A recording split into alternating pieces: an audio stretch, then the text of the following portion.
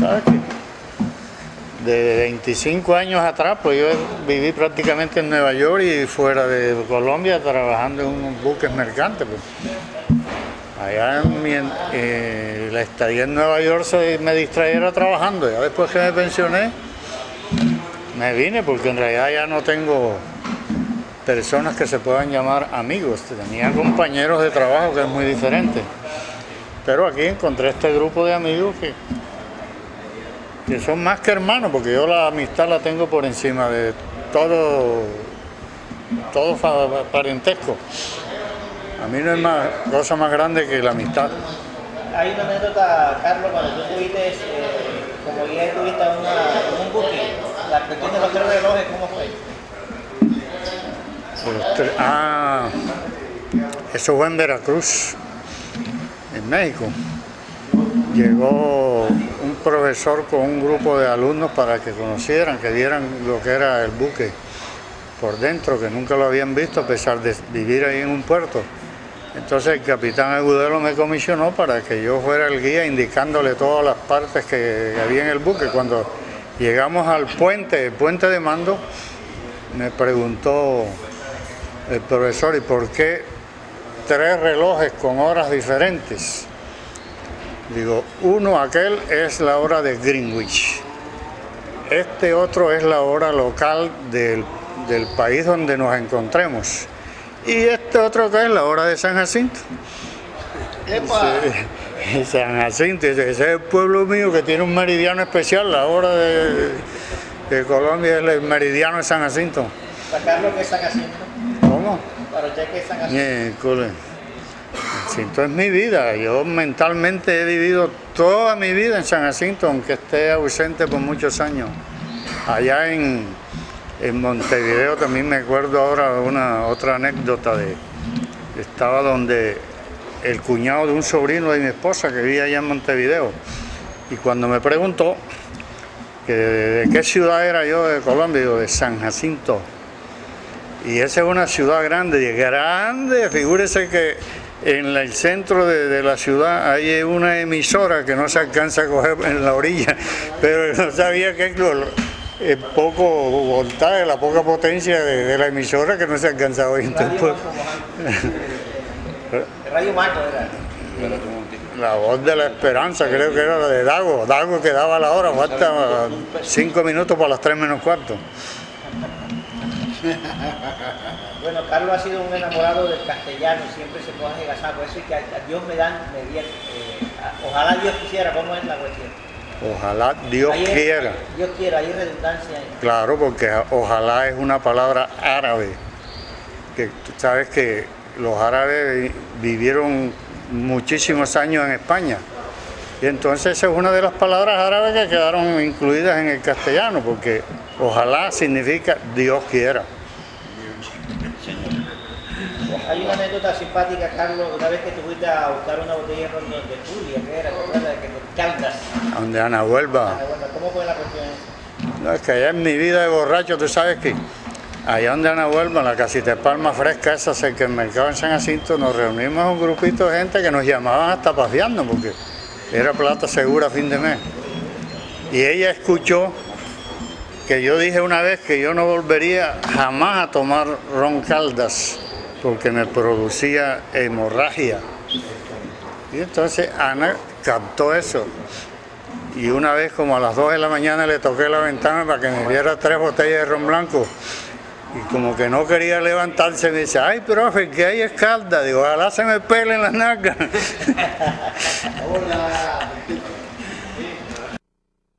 cómo se te ocurrió a ti por compilar todas esas anécdotas de San Jacinto en Nueva York? ¿Cómo fue la, No, no, eso lo hice acá. no, la- las grabaciones, ¿te acuerdas? Los chistes, las... No, no, eso fue antes. Eso fue una vez que nos fuimos en avión a buscar un buque a, a Alemania. Eso fue en junio del 79, cuando llegamos a Bogotá a tomar el avión ese de Lufthansa que iba para Alemania. me- metieron al avión en cuarentena. Entonces nos cambiaron para el Jumbo de Avianca que salía era por la tarde. llamé a saludar al sobrino, a Germán Bustillo, al profesor Bustillo. Y entonces me pidió que fuera a su casa para que almorzara allá y pasara un rato con él mientras llegaba la hora de la salida del avión. Entonces él fue quien me pidió que le escribiera la correduría de Cachán. Y allá cuando estaba en Alemania, que duramos 10 días ahí, me acordé, entonces no me puse a escribirla, sino a grabarla, pensando que eso ocuparía mucho espacio. Así que un poquito, entonces se me, ocurrió llenar siquiera un lado del cassette de otras cosas de San Jacinto. Así fue como grabé la- las personas que se conocen con, con el nombre o con el apellido solo, no hay que decir, a- al decir tú Anillito ya sabes que quién es Anillito sin el nombre y así sucesivamente. Otros que se conocen es por el nombre y el nombre del papá o de la mamá, Licho es de Gucho, Rafa es de Manuela, y así. Y así fue llenando, y llenando, y llenando, y después, Eso fue un ejercicio mental. sí, al- después, a lo de los apodos, ese que es el más grande, cogía a San Jacinto calle por calle y casa por casa, porque a San Jacinto lo tengo mentalmente gra- grabado aquí todito. Y me salieron como mil apodos ahí. Eh, eh, ¿Quién era Cachán? Ah, ¿Cachán quién era? Cachán, ese era un viejo que allá en los años 40, él andaba con una mochila y, y- y recitaba lo que él llamaba su correduría. Esa era una correría que él hacía de pueblo en pueblo. Y le daban dos centavos. Y él arrancaba, pero de una manera ligera. Y decía, en fin, señores, eso le iba a hacer una correduría desde mi pueblo de brinco en brinco. Brinqué las palmas con mucha calma, hablé con Jacinto, llevé una carta, paño Juancito, tenía una vaca, llamarse Campeche, me dieron de almuerzo, rascar leche, y llegué a Playón con mucha razón. Maté una vieja de un tropezón y así hambre sin ninguna pena, le robé la cena, ya tuve Bueno, una cosa que, yo- yo- una retaíla que yo no puedo hablar mucho ahora porque ¿Cómo, cómo te aprendiste todo eso de Roy? Ah, porque Jochepunga, el que se cogía el mochuelo y yo, andábamos detrás de Cachán todo el tiempo hasta que, hasta que logré aprendérmelo. Y lo escribí. Pero el viejo Pepe Rodríguez me encogió montado en una silla leyendo eso y me la quitó y la rompió. Así que allá en Alemania es donde traté de recordar eso, más o menos en el mismo orden en que él lo decía. Este, eh, tú estuviste eh, presente en el hecho histórico. Adolfo Pacheco hace una canción, es el viejo Miguel. Ajá. ¿Cómo fue esa? Esa era en la época en que yo todavía tomaba trago. Yo iba mucho allá de la mujer que tenía Adolfo, allá en el barrio de la Gloria. Y Adolfo, la, ¿sabe? La música, la, la, la regla es con guitarra y con números. Y él, cuando me, me cantó la letra, el pedacito ese que dice, em- e- esa vez dice, para colar a Dios me voy de la tierra mía. Yo de Adolfo, fíjate que esa canción no es para San Jacinteros nada más. Esa canción de pronto puede ser conocida por otras partes. Y, y si oyen, para colar a Dios, se imaginan que es un colador bien grande para colar a Dios. Y él se refería al doctor Francisco Lara Barbosa, que le decíamos Paco. Y entonces, sí, entonces le, le- le cambió y dice adiós Paco Lara. En vez de Paco Lara, adiós. Los personajes de, de- del viejo Miguel, ¿quiénes son? Por ejemplo, esa es la. la eh, ¿Qué es la perra? La, el perro Petrona. No, el perro de Petrona es un- una canción, un tema. Un tema que tocaba la banda de música que el viejo Miguel buscaba para tocar en el Salón San Andrés. Y entonces cuando ya se desocupaban o antes de empezar los bailes, el viejo Miguel tomándose su trago ponía a la banda a tocar el perro de Petrona, que era un tema que le gustaba a él, un tema que yo más nunca lo he oído. Dice, Petrona tenía un perrito, bonito perro guatinajero, lo crecen 200 vacas, 40 puercos y un gran potrero. Se perdió. Eso se perdió, yo más nunca lo he oído. Hay una anécdota muy simpática con, un pariente tuyo, con Benquita Barraza. Cuando sale la mica prieta. ¿Cómo fue? Ah, eso es el, primer tema que grabó Toño Fernández en los discos esos de 78 y es por la, la gara Benjita. que era una de las personas que, que lo buscaban a ellos para animar fiestas allá. No, en la mica Prede se... Oye, Benjito Barraza, el son de la mica Prieta. Y dice Benjito, mira, y tú no pudiste acordarte de otro que viniste a meterme ahí en esa vaina. Y dice, bueno, perdone, Benja, yo voy a ver si lo puedo borrar con un clavito.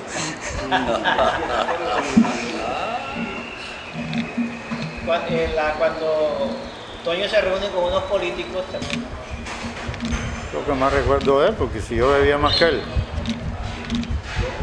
Tú bebías más que él. Ah, bebía un día sí, el otro también.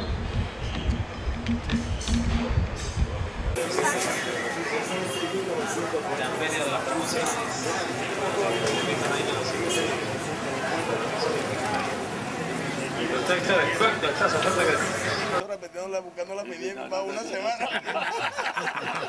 Si encuentra la penilla, me la manda. Al día siguiente dice, no será esta. No será esto, don Carlos. Y la encontró. Oye, y dijo, oye, y dijo que, Ay, te bache, eso es verdad. no será esto, don Carlos. y que dijo, agáchate para ver si es verdad. Que no veo bien, que estoy sin gafas. Ha tenido que pasar con Carlos. Hablando de aire folclórica que hablaba del homenaje a Juanchi. Le faltó un pedacito. En el año 82 le hicieron un homenaje a los gaiteros de San Jacinto y yo vine de Barranquilla con un grupo de allá. Estaba Lucho Bermúdez con su orquesta. Ah, Hubo un, un en el atrio de la iglesia, estaba la orquesta de Lucho Bermúdez tocando. Empezó el tedeum, ah, entraron los músicos. Yo no me había dado cuenta que los gaiteros estaban en la nave derecha, adelante, adelante, donde, to- donde está, ponen el armonio. El armonio, eso era. De pedal. Había un armonio allá todavía. Carajo, y, y yo esperando en el momento de la elevación, cuando hay bandas de música. Bájale. No, no, no, si se oye. Espérate, oye. En el momento de la elevación, cuando hay, cuando hay banda de música, hombre, si se oye bien. Cuando hay banda de música, la banda toca el himno nacional. Y era lo que yo esperaba. Digo, la banda Luis de Buena, ahora arranca con el himno nacional. No joder, los que arrancan son los gaiteros de San Jacinto con el himno nacional. Nunca se los había oído. Nada. Cuando arranca Juan Lara con la introducción,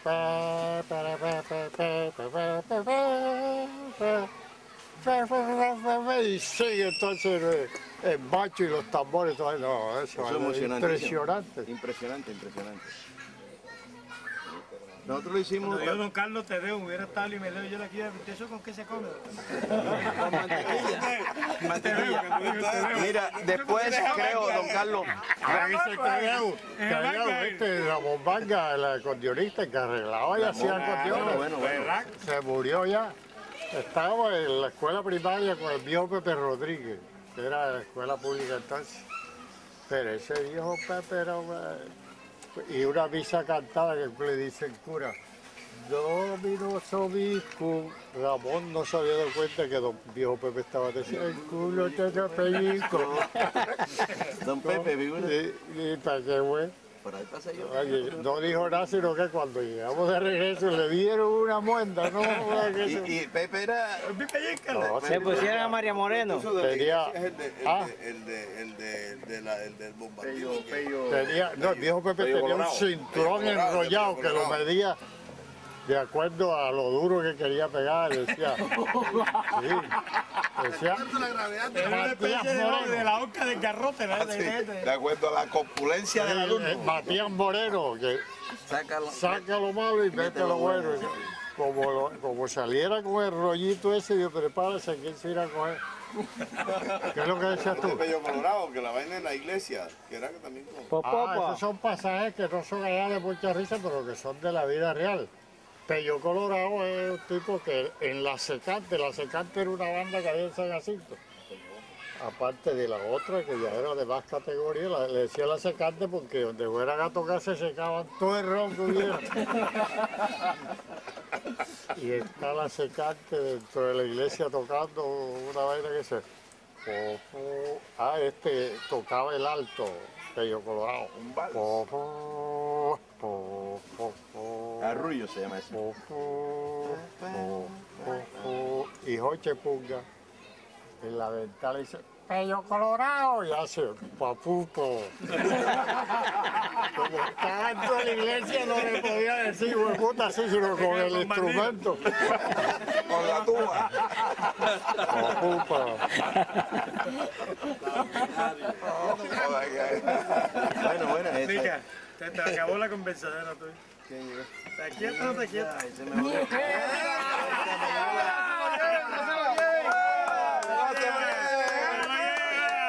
La grúa, llegó, don Carlos, llegó la grúa. La cuchilla. Sí, mi, mamita, fíjate que sacaron el perrito.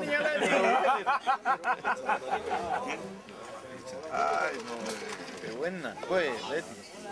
Tuto, ayúdame, Dios mío. Ayúdame. Ayúdame a olvidar. Y el no se lo lleva, del otro ratico. Ese pello colorado, Jorge. Jorge, pello colorado. Ayúdate, Lucho. Mi reina, mire. Ese pello colorado estaba, estaban inaugurando el- la cancha de fútbol. ¿Qué tal? ¿Cómo le va? Buscaron la banda de música. Y Ramiro La Choncha empieza a transmitir el partido. Hay saque de banda y somos una, acabamos de entrar y nos vamos a echar para afuera. La última vez que tocó Lucho Bermúdez en la sabana fue otro homenaje que le hicieron en San Jacinto, acá junto al puentecito, entrada de Carmen de Bolívar, que había un sitio muy bueno. No, sí, ahí. Y Lucho se murió como los 15 días. ¡No fly! ¡No fly! Es que, No solamente te cuento, sino que no dejes. Sí. don Carlos, este, ¿por qué yo me identifico mucho con San Jacinto? Yo le comentaba, ellos saben todo, pues Oveja y San Jacinto son dos pueblos similares. Están los Montemarín, las Gaitas, son pueblos jodidos, medio izquierdosos, lo que sea. Pero, y mi familia es San Jacintera. Mi abuela era Raquel Fernández Villa. El Mocho Fernández, no sé si usted de pronto lo oyó nombrar. Los Fernández Villa, bueno, que era el Mocho de la guerra y después, cuando un muchacho, a raíz de esa amistad, mi papá eh, fue como uña y mugre con Pablo Lora, Pablito Lora, Pablo Lora Villa, porque era primo y teníamos parientes. Y yo de pelado, uno pongamos, eh, los pueblos antes de una comunión muy grande, Oveja había una cosa muy especial, se brincaba el Carmen y el Carmen, al Carmen nosotros lo teníamos como apartado, y los míos San Jacinteros. Y los hermanos míos iban a los bailes a Corozal, sinceros. Yo me iba a San Jacinto porque yo estaba enamorado de una pelada, Gladys Alandete, hija de Felipe. Bueno, esa es mi historia. Por eso yo he tenido una empatía muy especial. Y mi negocio tabacalero, ¿qué? No, no, con Gladys no tuvimos. Entonces, ¿qué pasó? Yo me hice, cuando yo manejo una compañía exportadora de tabaco, yo me invoqué mucho a San Jacinto, porque uno es como mi otro pueblo. Y José Rodríguez Barrugo, usted lo conoció. Y los Vázquez. Y los Vázquez, todos esos eran mis clientes de tabaco. Bueno, bueno, bueno. Y Gallo, Gallo, bueno, bueno. Gallo bueno. Las, las Vázquez, esas mujeres sabrosas, estoy confiado con, con el, con el maestro, con el profe. Se calienta. Pero Gladys, saben que no era hija de Felipe. No, él la crió Felipe. Ah, la cogió pequeñita. Entonces de ellas se, iban, Humberto. ellas se iban mucho a Oveja, a donde Berta Cariello, esposa de Arturo García, que los carilleros, ella anda de San Jacinto. Arturo del Porro. Que Arturo de Porro, sí, vio Arturo. José Miguel Cariel. José Miguel Cariello. O una parienta mía. Ella. Era otra época. Y un pariente tuyo fue muy amigo mío que lo mataron. Un hamburger que en política aspiró a la alcaldía. Allá en San Jacinto. Sí, lo mataron, En ¿eh? San Jacinto. Sí, San Jacinto, sí. Ay, no. Ese tipo no era alcalde. ¿Qué? No, no, no me acuerdo. No, no, no. Yo estuve muy vinculado. Y viste que, mira, cuando hu- hubo los homenajes de Landero, ¿te acuerdas? Sí. Que lo hicimos y después nos fuimos para allá. pa- Yo me conseguí el disco San Jacinto de Lucho Bermúdez. San Jacinto, San Jacinto pinturero, para poner eso que lo oyeran, para que lo oigan, no joda. Y y se lo metí en la cabeza Dairo Mesa, hijo de puta, grábenlo. Y lo metieron en la banda Colomboy. Claro. ¿Qué? ¿Ustedes de disco? San Jacinto, de Luis Bermudo. Eh, yo lo tengo por banda, lo tengo todo porque hay discos que a mí me gustan. Me gustan mucho los músicos, la música en mi sabana. Entonces, hay un disco muy bonito que se llama San Juan de Ponceno. Ay, San Juan de mi San Juan de Juan. San Juan de Este, es que yo andaba buscando el tema ese de San Jacinto Pinturero que hizo Lucho del Yo lo tengo por Juancho Torres. Y, y lo encontré hace poco de Juancho Torres. ¿no? Que a eso lo último de Juancho Torres, a mí no me gustó malísimo. Después de dar el tropezón. La música es una cosa que es...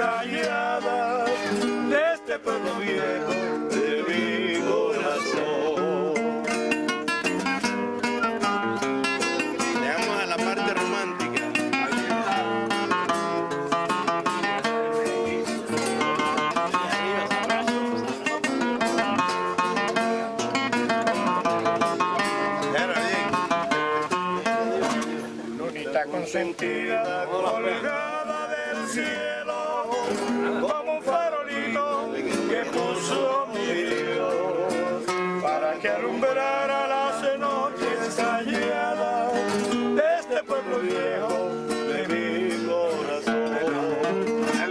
Pueblito de mi vida, de casa pequeñita, por tus calles tranquilas, corrió mi juventud. Porque aprendí a querer por la primera vez y nunca me enseñaste lo que es la ingratitud. Hoy que vuelvo a tus lares, trayendo mi cantares